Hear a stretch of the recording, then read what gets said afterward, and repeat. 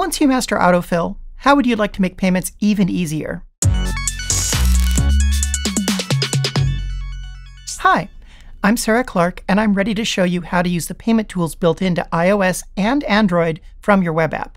The Payment Request API is a W3C standard to eliminate payment forms for users and standardize payment collections for sites. It allows us to request payment and shipping information with a single API call. This knows how to run Apple Pay on iOS Safari and Google Pay on Android. It's not limited to those two. Any payment provider can write a plugin. It's not even restricted to one browser. It's probably in the browser you're using right now. The browser simply acts as an intermediary, collecting the information we need in a consistent way, then returns a JSON object with the results that we can use to collect the payment.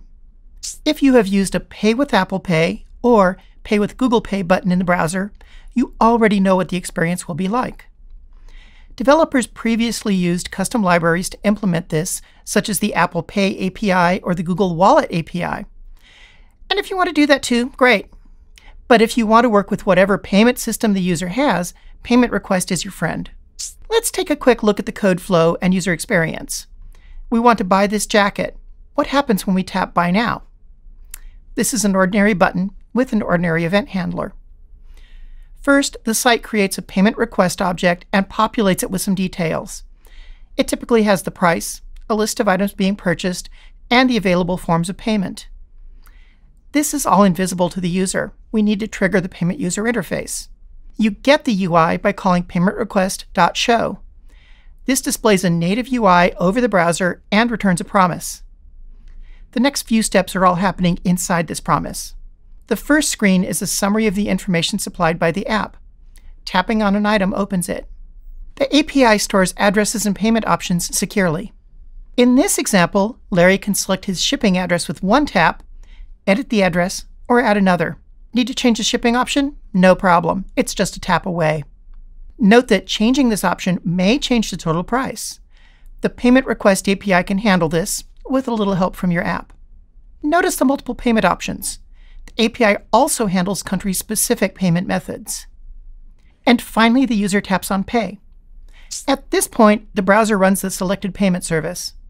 This might be an app on your device or going across the network to a payment provider. The completed payment returns a special token that you can send to your server. The server has ways of verifying this token. Is this safe? The API is more secure than form based payments.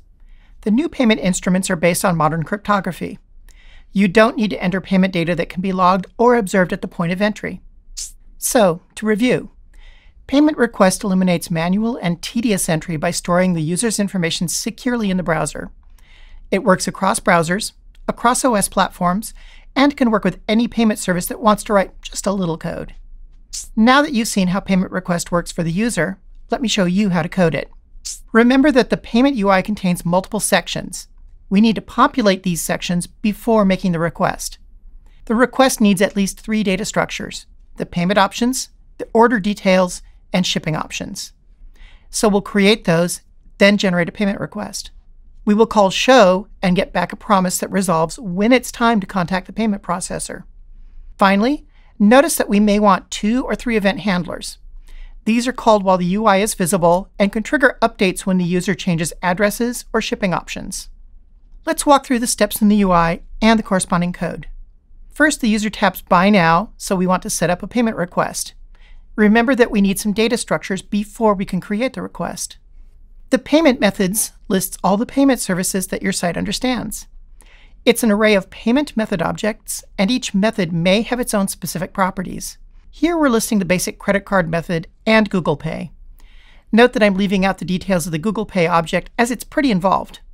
We want the user to know what they're buying. This includes the core details of the transaction, how much money, what currency, and what list items you want displayed. Keep the line items fairly high level. It isn't meant to be used as an itemized receipt. If you want more than one shipping option, you can define this structure. Notice it's a property on the transaction details. If you have multiple options, include a selected bit. The browser will highlight the selected option and fire an event when it changes. Now you can define what information you want from the API. By default, payment request will only return the payment info.